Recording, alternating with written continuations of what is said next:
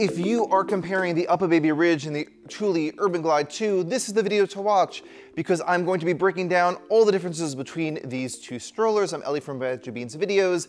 I review and compare strollers and car seats and baby gear on YouTube. Nice to meet you if this is your first time meeting me. We produce videos every week so you can stay up to date on what's happening in baby gear. So I highly encourage you to subscribe today. Great. UPPAbaby Ridge just came out in the end of 2021.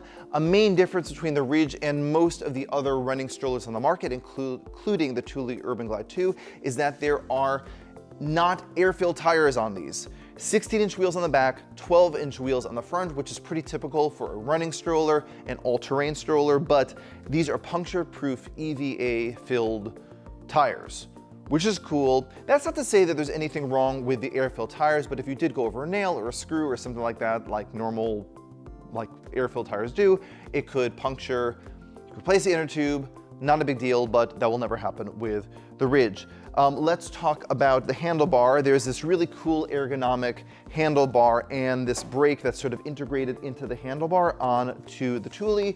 There is a more traditional handbrake on the Ridge, but they have these really awesome disc brakes on the Ridge, which are are fashioned after what they have on mountain bikes. So they're really thinking about that outdoor, go and seek your adventure type of a type of engineering, and that's what they really instilled into the UPPAbaby Ridge.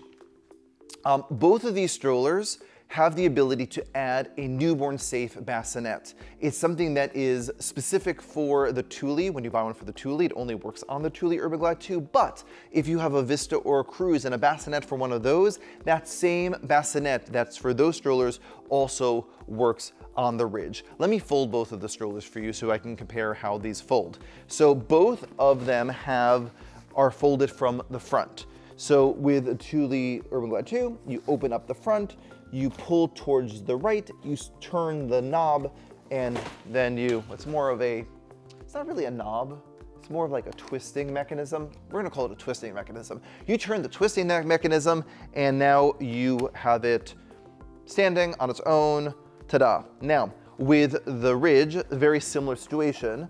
You open up that compartment, you look for the button, you turn, and it folds up and it stands on its own as well. So both of these strollers stand on its own. To open this back up, you twist that sort of twisting situation again and it opens back up. And for this, there is a sort of a close and you just open it up. And now you are good to go. In terms of locking the front wheel, there is a gray mechanism that you go from lock to unlock so that you can lock it when you're running. You want an elongated stationary wheel when you're running. It makes the stroller less like jiggly and wiggly.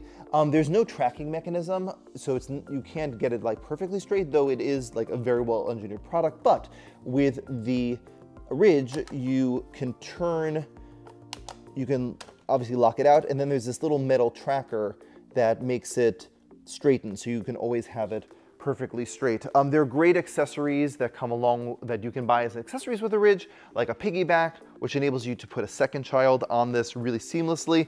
Um, two nice things about both strollers is that they have um, closed baskets. So your stuff doesn't fall out. If you're running in the rain, things are not gonna get wet. When you fold down the stroller, things aren't going to fall out. So that is a really cool um, feature of both of these strollers. Let's do some measurements. So the greatest length, it is 16 inches and it goes down to sort of 14 inches. You can see it sort of gets sort of smaller and more into this sort of triangular shape as it goes down. With the ridge, it's all 16 inches and it goes down to, like it stays pretty much about 16 inches, so it doesn't get more narrow, but I think that's probably going to be fine for the size of your child. In terms of the seat length, this goes up to, you can see it gets bunched on the top, but it's a 20 inch high in terms of the Thule Urban Glide 2, and then in terms of the um, ridge, it is um, 19 inches high. So it's a little bit taller for the Urban Glide than it is for the Ridge. In terms of the weight of the stroller, this is a little bit over 25 pounds, and this is a little bit over 29 pounds. So the Ridge is definitely a little heavier than the Urban Glide 2, but they're both weigh in under 30 pounds in any way you slice it, I highly recommend that you get a lightweight stroller to go along with one of these strollers for just in and out of the car, really quick trips. Neither of these strollers are strollers that you might want to keep in your trunk.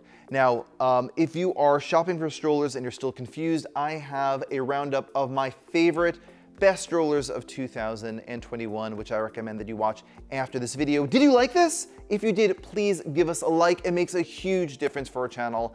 And don't forget to subscribe today. See you at the next video.